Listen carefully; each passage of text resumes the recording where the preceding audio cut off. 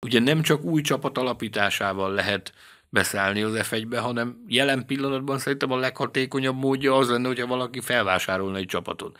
Csak jelen pillanatban nincs eladó. Vagy legalábbis nem hát tudunk igen. róla.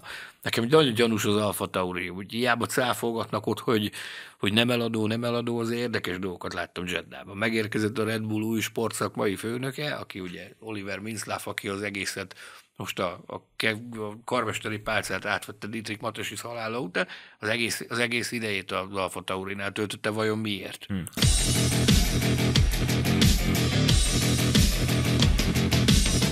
Sziasztok! Nagy szeretettel köszöntöm a tribün hallgatóit és nézőit, én Takács Áron vagyok, és itt van velem Réthei Balázs is. Sziasztok, én is köszöntök mindenkit, iratkozzatok fel a csatornánkra, és hogyha támogatni szeretnétek minket, akkor a köszönet gomb megnyomásával tudjátok ezt megtenni. Folytatjuk beszélgetésünket Mészáros Sándorral, a Formula.hu és a Formula Podcast szakértőjével és utazó riportelével. Hát a FIS a FOM között a szezon előtt igen komoly háború zajlott, és eléggé elmérgesedett a viszony, és mielőtt jöttek volna futók, már sok-sok beszédtémánk volt. Mi áll a belháborúnak a, a középpontjában, mi, a, ami miatt az FIA és a Forma egy ennyire összeütközött, és látod-e, hogy lesz ebből megoldás a közeljövőben?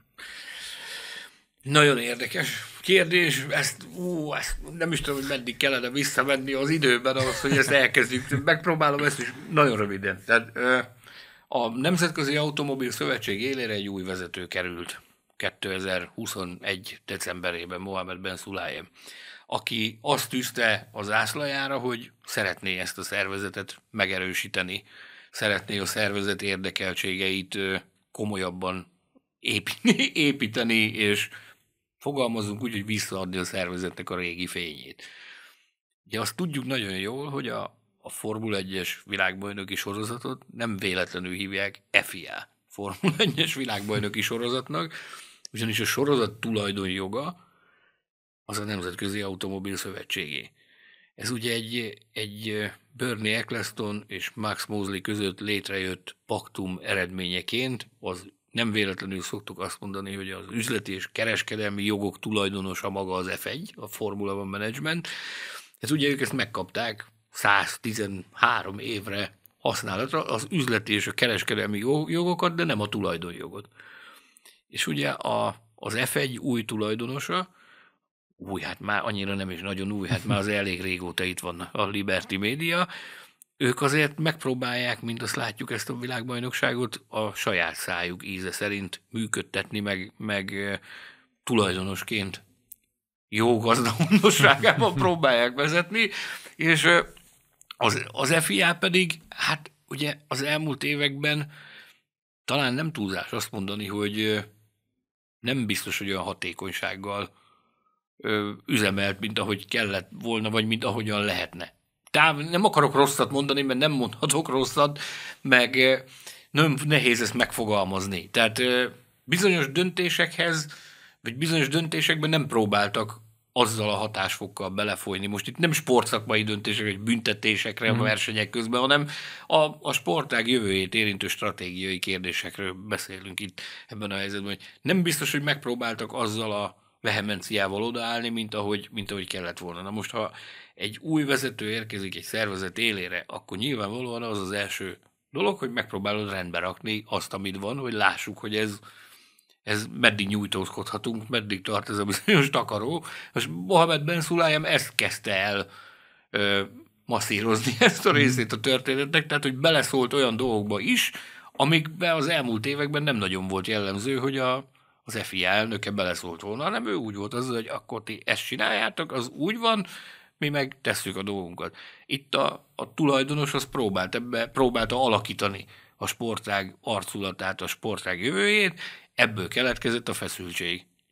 Ebből keletkezett ugye a, a Liberty Media, még ez nem volt hozzászokva, mióta ők megérkeztek, ők ilyennel, ilyennel nem találták szembe magukat, hogy a, az FIA oldaláról valaki azért bizonyos dolgokkal kapcsolatban odavág az asztalra. Ugye itt látjuk itt a, a főbb sarokpontokat, mit tudom, például a csapatok bővítése, uh-huh. tehát hogy a mezőny bővítése. Ez volt az egyik, talán a legmélyebb, a legmélyebb ilyen ö, vita pont a felek között. Hát ugye ott is érthető azért, hogy, hogy miért alakult így. az FIA-nak érdeke, hogy minél több gyártó ö, szerepeljen a világ, az, az általuk jegyzett világbajnoki sorozatban, minél több gyártó folyjon bele ebbe a, ebbe a vérkeringésbe. Míg az F1-nek az érdeke ott teljesen egyértelmű volt. Jelenleg van egy pénzügyi és gazdasági egyensúly, amit, hogyha új szereplőt vonnak be a történetbe, akkor az a gazdasági egyensúly megborulhat. Azt a bizonyos tortát, amit hmm. összekalapolnak, azt a bizonyos tortát, azt több szeletre kell fel, felvágni. Ez jelenleg minden csapat egészséges, minden csapat jó formában van, senkit nem fenyeget a megszűnés veszélye. Ha ez megborul, akkor nyilvánvalóan nekik kell akarni a fejüket, hogy akkor, akkor hogyan tovább. Ráadásul ezzel a helyzettel a csapatok is elégedettek, ők sem akarnak ugyanazon a pénzmennyiségen másokkal osztozni, ezért nyilvánvalóan ők pedig tolták a, a fomot, hogy ez, ez maradjon ez így, ahogy van. Tehát kialakult egy olyan lehetetlen, rajongóként, őszintén, mi a jó? Hogyha nagyon sok csapat van, de megvan az a kockázat, hogy egyszer csak valaki beborul, vagy az a jó, hogyha meg, megmaradunk ennyinél, és akkor folyamatosan vakarjuk a fejünket, hogy ú, ennek a pilótának sincs helye, meg fú, de jó lenne több autót látni. Nagyon nehéz eldönteni ezt, hogy, hogy, hogy, hogy mi a jó. Tehát nagyon nehéz ezzel kapcsolatban bős, bős döntést hozni. Én azt jósoltam az év elején, hogy ezek a viharok el fognak ülni. Mind a két fél elmegy a falig, meglátják, hogy mi fér még ebbe bele, de mindannyian érzik azt, hogy a, a Formula egy túlságosan nagy érték ahhoz, hogy, hogy ezt ilyen háborúskodással adott esetben bedöntsék az egészet. Én azt látom, hogy ez most már azért csendesedik, ez a történet. És mivel indoklod a, a két vezetésnek a, a kontrasztját? Tehát Zsántot sokkal inkább még a Forma 1-es csapat fele volt orientálva, és Ben Sulayem igazából kívülről érkezve úgy volt vele, hogy akkor tényleg húzzuk újra ezt a, ezt a dolgot, vagy, vagy Zsántott egyszerűen nem is szuperált olyan jó elnökként. Zsántott szerintem nagyon jó elnök volt, nagyon sokáig, tehát azért nem véletlen az, hogy ugye ezek a, ugye a három ciklus kitöltötte, és itt még az is fölmerült, hogy adott esetben hogyan lehetne a szabályokat megváltoztatni, hogy, hogy maradhasson még, tehát őt, őt nagyon sokáig voltak olyan, tehát szerették volna hivatalban tartani, ez nyilvánvalóan nem volt lehetséges. Az, hogy a Ben Sulayem szemléletbeli váltást hozott. Tehát akarta azt, hogy, hogy még hatékonyabban annál is, mint ami, mint ami meg. Az, hogy a, a Forma 1 a legláthatóbb ezek közül a dolgok közül, hmm. amiket az új vezetés próbált változtatni. A Forma 1 a legláthatóbb, meg a, a közvéleményt a Forma 1 érdekli a leginkább. De azért más területeken is történtek olyan változások, amikkel ahhoz a, a szisztémához képest ugye más a filozófia. Nézzük meg, hát a, az FIA-nak most először van gyakorlatilag vezérigazgatója, aki, aki, aki felkértek arra, hogy ezt a, ezt a rendszert ezt professzionálisan üzemeltesse. Tehát van egy elnök, meg van egy vezérigazgató. Ahogy az egy modern vállalati struktúrában az, az lenni szokott. Tehát itt is látszik, hogy azért vannak törekvések a, modernizálásra, meg a hatékonyabbá tételre. Nagyon jó volt Zsantot, de ott neki lejárt az hmm. ideje ezzel. Nem véletlen az, hogy, hogy egy másik irányzat kapott bizalmat a tagság részéről. Mennyire látod egyébként reálisnak, hogyha itt már beszéltünk a csapatoknak az érkezéséről, hogy valóban legyen egy 11 12 csapat, akár 2025-től, 2026-tól, meg hogyha ez végre meg is fog történni, hogy lesz új csapat, akkor kik a fő potenciális jelöltek? Hát a törekvés az megvan rá, hogy, hogy legyenek új csapatok, az, hogy hány lesz, hát az borzalmasan néz. Erre a legnehezebb jelen. Annyi, erre a legnehezebb választani, mert annyi jelentkezőről hallani, és nem tudod eldönteni, hogy ezek között ki a szélhámos, hogy ki nem. Igen. Hogy ki az, aki mögött valóban van potenciál arra, hogy hallani itt indiai érdeklődőről, meg másik ázsiai emberről, aki próbál összeverbuválni valamit, itt halljuk Európában, és azért vannak F2-es csapatok is. Igen. Ugye nem csak új csapat alapításával lehet beszállni az F1-be, hanem jelen pillanatban szerintem a leghatékonyabb módja az lenne, hogyha valaki felvásárolna egy csapatot. Csak jelen pillanatban nincs eladó. Vagy legalábbis nem hát tudunk igen. róla. Nekem nagyon gyanús az Alfa Tauri, hogy hiába cáfolgatnak ott, hogy, hogy nem eladó, nem eladó, az érdekes dolgokat láttam Jeddában. Megérkezett a Red Bull új sportszakmai főnöke, aki ugye Oliver Minzlaff, aki az egészet most a, a, a karmesteri pálcát átvette Dietrich Matesi halála után, az egész, az egész idejét az Alfa Taurinál töltötte, vajon miért? Hm. Andretti nagy esélye lenne? Akár. Andretti nagyon komoly energiákat mozgósít annak érdekében, hogy valahogy be tudjon ebbe a körbe kerülni. Tehát annál többet tenni, mint amit ők ezért megtettek, azt nem lehet. De valami rejtés oknál fogva épp az amerikai tulajdonú Liberty Media az, aki nem nagyon lelkesedik az ötletér, hogy ők ide jöjjenek. Senki nem érti, hogy ennek, ennek mi áll a hátterében, mert hallasz időről időre, hogy, hogy a high-tech szeretne Formula 1-es csapatot indítani. Lehetett hallani a Premáról egy időben, hogy a Prema szeretne Formula 1-es csapatot. Lehet hallani arról, hogy olasz konzorcium szeretné átvenni az Alfa Taurit, vagy saját csapatot. Nagyon sok ilyen különböző szenáriót hallani, de az Andretti az, akivel kapcsolatban mindig mereven elhatárolódnak attól, hogy ez, hogy ez megtörténjen. Ugye a legutóbbi bejelentették, hogy 600, bejelentették, hogy Kedilek, a Kedilekkel szövetségben érkeznek hmm. a Formula 1-be. Mi történik? Kiderül, hogy 600 millióra akarják emelni ezt a belépési összeget. Tehát mintha valaki mi szándékosan megpróbálna az Andretti tettő távol tartani. Én a magam részéről nem értem, meg én azért adnék ennek időt hogy, hogy ez kiforja. Nem akarok olyanba belemenni, hogy ez, meg ez, meg ez biztosan itt lesz, meg biztosan meg... Elég komoly szűrő van, amin át kell menniük azoknak, akik új csapatként szeretnének ebbe beszállni. Az sem biztos, hogy azt mindenki tudja teljesíteni. Amit, amit a, a kívánalmak oldalán elő fognak írni, vagy előírnak, hogy mit kell teljesíteni. Ahhoz, az ugye? is lehet, hogy senkit nem engednek be, és marad a tíz csapat? Miért ne lehetne ilyen? Persze, mert azért, hogyha vég, végignézzük az eddig tapasztalatokat, akár az, elő, az utóbbi bővítésre visszatekintve 2010-re, ott azért egy kicsit besült ez a igen, bővítés. Igen, jöttek mindenféle formációk, akik és itt azóta... voltak egy darabig, majd utána az első nehézségek alkalmával elmenekültek innen. És azóta meg ugye láthatjuk a fényképeket a kihalt és elhagyatott gyárakról. Pontosan. Tehát ezért Fűvel benőve.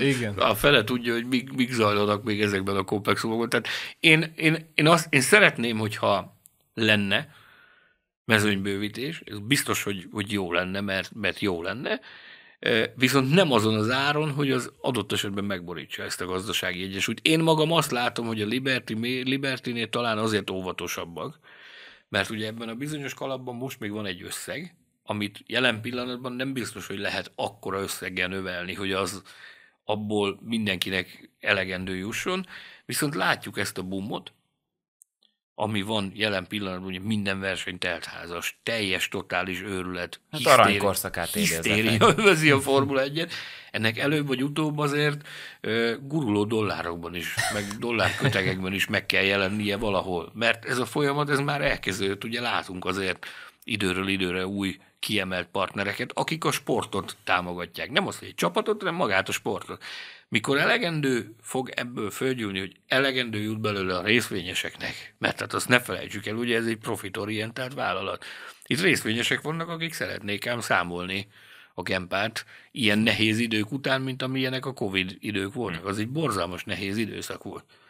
Borzalmas nehéz időszak volt, még ha nem is mondják ki, akkor is az pénzügyileg el lehet képzelni, hogy ez mit jelentett mikor termel majd elegendő mennyiséget az F1 ebből a hisztériából, ami jelenleg övezi, akkor szerintem nagyobb, jobban ö, ők is abba az irányba fognak mozdulni, hogy akkor legyen mezőnybővítés. És hogyha már szó került a Liberty médiáról, neked mi a véleményed a, az utóbbi 5-6 évükről, amit a Forma egy egyik uraként töltettek le? Nyilván azt is belevéve ebbe az egész dologba, hogy oké, okay, nagyon nagy a, a hisztéria a Forma 1 körül, iszonyatosan fölment a, a, a népszerűsége a sportnak, mégis elindult a, a Forma 1 egy el-amerikanizálódása, ami, ami azért egyre több amerikai futamban jelenik meg, néhol azért nyilván az, az is felmerül, hogy esetleg történelmi helyszínek helyett akár amerikai futamok legyenek, ez mit okozhat a Forma 1 hosszú távon? Azt okozhatja a Formula 1 hosszú távon, hogy a Formula 1 megcsinálta azt, ami, amit korábban soha nem sikerült, meghódította Amerikát. Tehát az egészen elképesztő úgy érkezni Amerikába, mondjuk egy akármelyik nagy díjra, hogy, hogy már például a, a, az immigration is tudják, hogy, hogy, hogy, hogy, mi lesz a városban. Tehát ez hmm. korábban ez elképzelhetetlen volt, hogy ilyen legyen, hogy emberek beszéljenek erről, vagy hogy, vagy hogy jársz, kelsz, adott esetben most például közel-keleten, vagy itt Európában, hogyha elmész, és amerikai szurkolók jönnek Európába hmm. Forma 1 nézni. A Forma 1 miért? Ez eddig elképzelhetetlen volt. Elképzelhetetlen. Történelmi helyszínek. Én nagyon szeretem, meg, meg én, én nagyon ö, szeretem ápolni a tradíciókat. Hmm. Ilyen a beállítottságom. De hát ezt egyszerűen meg kell érteni, hogy, hogy ez egy profitorientált sport oda fog menni, ahol a pénz van. Ki az, aki megfizeti a Aki megfizeti, így van. Mert, mert nagyon sok olyan tradicionális, például Németországban nincs verseny. Azért, mert senki nem, senki nem tesz bele pénzt, hogy, hogy legyen verseny.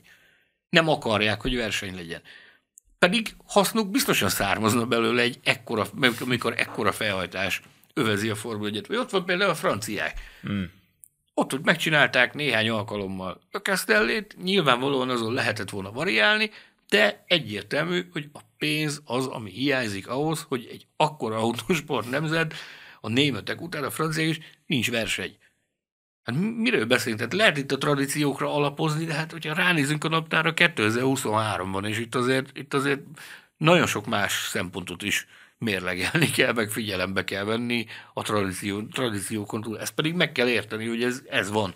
És ez Változik a világ. És ez szurkolóként téged hogy érint? Mert nyilván ezt a részét tudjuk, a profitábilis vállalkozás részét, de, de nyilván szurkolóként meg azt szeretnénk látni, hogy, hogy még több ilyen cántvorti esemény történik, hogy visszatér valahova Forma egy még egy Biztos, döntött hogy szurkolóként rossz, hogy történik egy új dolog, és minden érának vannak új sajátosságai. Ne, biztos, hát hogy szurkolóként mindig a múlthoz kell Imolába visszatért a, a Forma 1, szerintem az valami fenomenális. Igen, zseniális volt. volt. De ez is azt mutatja, hogy azért a sportnak a jelenlegi gazdái azért odafigyelnek erre is, hogy azért a tradíciók valami, tehát nagyon nehéz megtalálni azt az egyensúlyt, hogy a tradíció, el kell döntened, hogy a tradíciókat akarod tiszteletben tartani, vagy életben akarod tartani a világbajnokságodat. Ez egy, ez egy borzalmasan komplex kérdés, viszont eddig én azt gondolom, hogy azért, azért megtalálták az egyensúlyt. Ez, ez mindenképpen, mindenképpen dicséretes. Steiner egyébként ennek a könyvnek az előszavában méltatta azt, hogy, hogy, hogy vannak, amikor tévútra tévednek, de azért alapvetően az egyensúlyt minden területen képes belőni a, a Liberty Media. Tehát most azt nézzük, hogy milyen áldozatokat hozott az előző irányításhoz képest, hogy mi történt az előző irányításhoz képest, azért valószínűleg jó, hát az, az ég és föld. Nyilván. Sokkal több jó történt, mm. mint nem jó. Mm.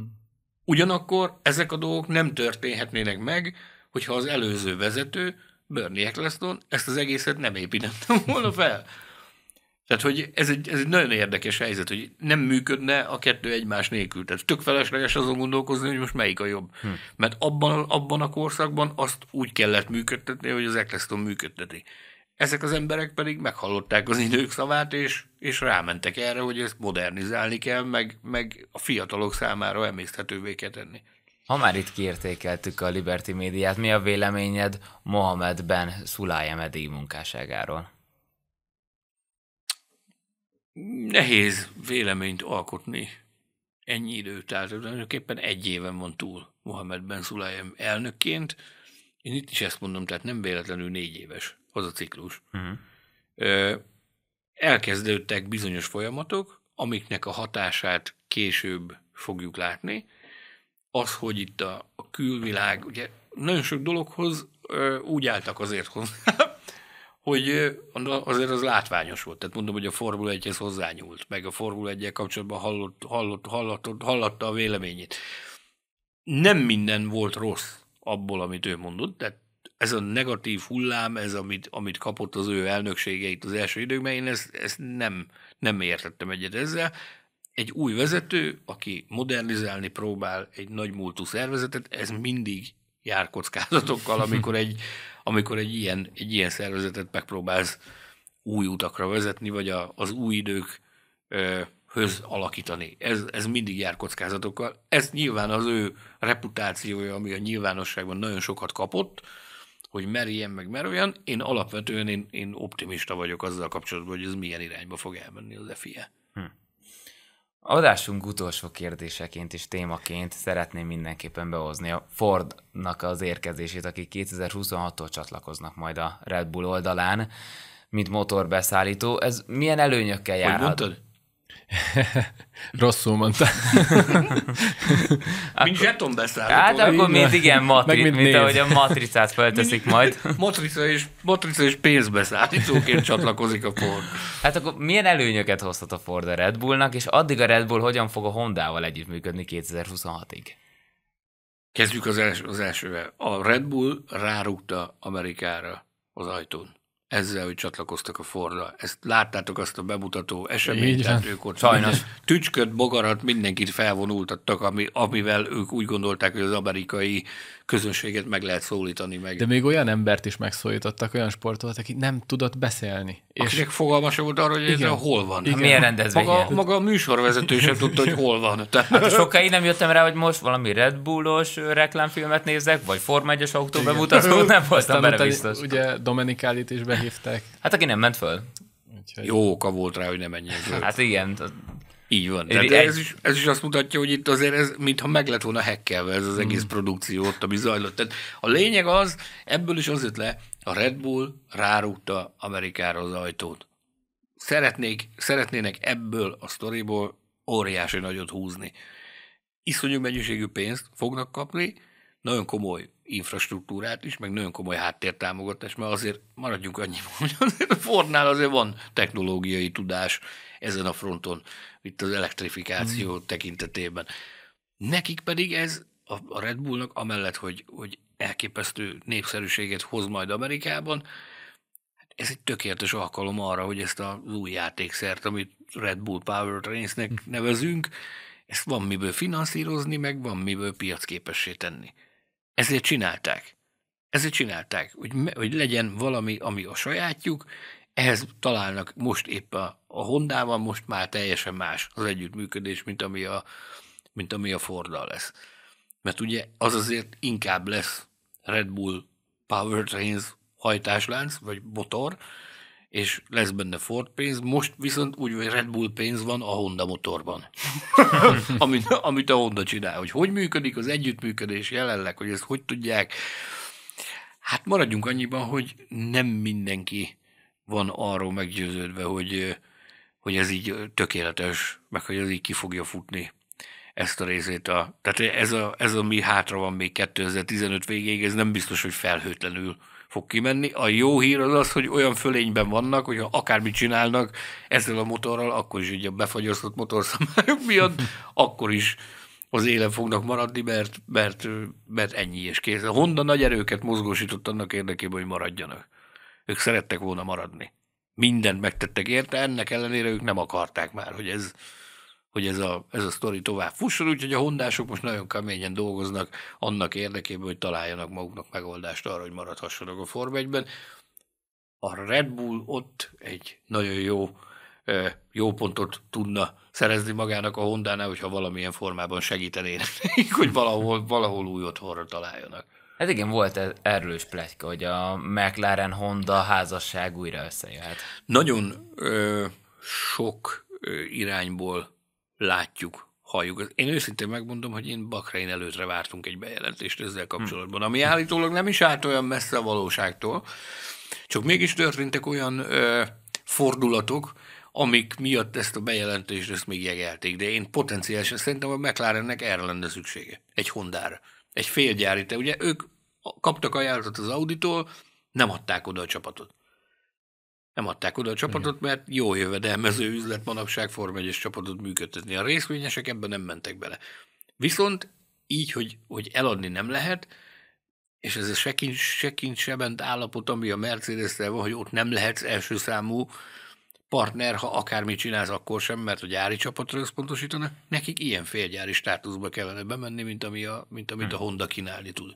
Egyszer már nem működött, lehetett tanulni belőle, Alonso is visszament, a, a Csak nem igazol vissza még a a, McLarenbe. csúnya, a csúnya szakítás után, tehát az, hogy ő egyszer oda vissza tudott menni egy olyan rapszódikus lezárás után, mint amivel ő onnan távozott 2007-ben, az azt mondta, hogy miért nem térhetne vissza a Honda és a McLaren újra a, a közös együttműködés útjára. Én ezt potenciálisan el tudom képzelni.